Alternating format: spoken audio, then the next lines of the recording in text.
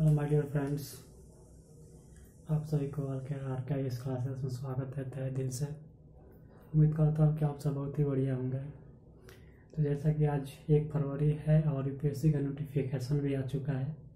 जिनको जिनको UPSC form भरना है, वो भर सकते हैं।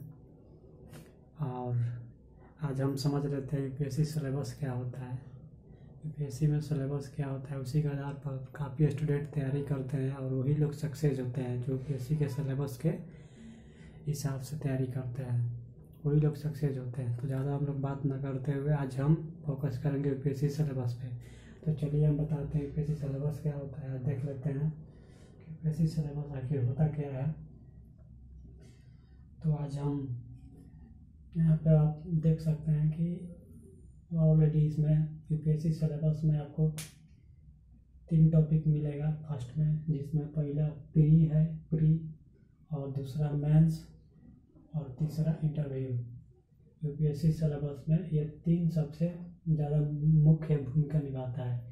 फ़र्स्ट में आपका आता है प्री प्री में भी आपका दो पेपर होता है G S one G S two और जी एस वन में आपका ये क्या क्या पूछता है? सिर्फ़ जीके जीएस ठीक जीके जीएस पूछता है, जिसमें आपका क्वेश्चन आता है सौ नंबर का। क्वेश्चन आपका सौ नंबर का आता है मार्क्स है आपका टोटल मार्क्स इसमें दो सौ का। दो सौ नंबर का मार्क्स आता है और दो घंटे का होता है। दो घंटे में आपको सौ नंबर का क्वेश्चन आपको टिक करना होता है। इसमें नेगेटिव भी मार्किंग होता है वो ये पता होना चाहिए। और दूसरा पेपर, जो प्रीलिम्स का दूसरा पेपर है, जिसे हम जी एस टू के नाम से जानते हैं तो उसमें आता है आपका फ़र्स्ट इसमें आपका आता है सी सेट आता है, जो अस्सी नंबर अस्सी नंबर थी, अस्सी को सी सेट आता है, यानी क्वेश्चन आपका अस्सी आता है, अस्सी क्वेश्चन आता है, और इसमें भी मार्क्स आता है आपका दो सौ, और ये दो घंटा के लिए भी होता है। तो हम आज फिर प्री का बात कर लिए जिसमें दो पेपर होता है G S one G S two जिसमें जी एस वन आपका जी एस जी के जी के जी एस पूछा जाता है। जिसमें सौ क्वेश्चन होता है और दो सौ मार्क्स होता है और दो घंटे का होता है। दूसरे पेपर में सी सेट होता है, अस्सी नंबर का, अस्सी को क्वेश्चन आता है और दो सौ मार्क्स का नंबर होता है दो घंटे। और बात करते हैं आप मेंस पे।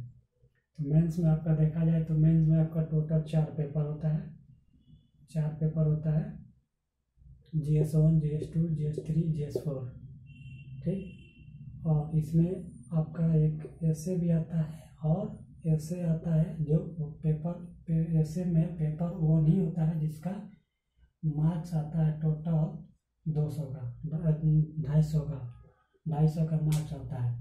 जिसमें आपको इसमें मेंस में आपको कंपलसरी भी आएगा कंपलसरी आता है इसमें कंपलसरी भी आएगा। और इस मेंस में ही ऑप्शनल आता है। मेंस में ही ऑप्शनल आता है। ऑप्शनल आपका सबसे ज़्यादा नंबर का भूमिका निभाता है। अगर ऑप्शनल में अगर सबसे ज़्यादा अगर नंबर आता है तो आपका निश्चिंत है कि आपका सिलेक्शन होगा। ऑप्शनल में आपका दो पेपर होता है। G S one G S two जो भी आपका ऑप्शनल हो जोग्राफी हो हिस्ट्री हो पॉलिटिकल हो, या सोशोलॉजी हो, या हिंदी लिटरेचर हो, जो ऑप्शनल अगर आपका है सबसे ज़्यादा नंबर का अगर ऑप्शनल में अगर नंबर आता है सबसे ज़्यादा तो आपका सिलेक्शन निश्चिंत है, एकदम फिक्स है कि होगा। अब आपका तीसरा आता है जो इंटरव्यू जो इंटरव्यू ढाई सौ का होता है, इसमें आपका पर्सनालिटी टेस्ट होता है। इसमें आपका पर्सनालिटी टेस्ट होता है, ठीक? इंटरव्यू में ये रहा आपका यूपीएससी सिलेबस टोटल ठीक? और टोटल ये इतना ही होता है। जो यूपीएससी सिलेबस अपना बनाया हुआ है, इसी सिलेबस के आधारित है। क्वेश्चन उठाता है आपका और इसी में पूछा जाता है। अन्यथा काफ़ी स्टूडेंट जो होते हैं, इससे बाहर निकल कर के पढ़ाई चालू कर देते हैं। तो वो लोग सक्सेस नहीं हो पाते हैं। उम्मीद करता हूँ कि आप लोग ये यूपीएससी सिलेबस समझ चुके होंगे और आज से एक नई शुरुआत करिए और आप मेहनत ज़बरदस्त करिए कि आप सिलेक्शन आपका हो जाए। और यूपीएससी का नोटिफिकेशन भी आ चुका है। चेक करते, कर सकते हैं वेबटाइम वेबसाइट पे।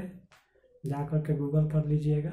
उम्मीद करता हूँ कि आप लोगों को ये वीडियो अच्छा लगा होगा। शेयर लाइक सब्सक्राइब ज़रूर करें। दोस्तों के साथ शेयर करिए और सब्सक्राइब करिए। प्लीज़ सपोर्ट भी। ओके जय हिंद, जय भारत।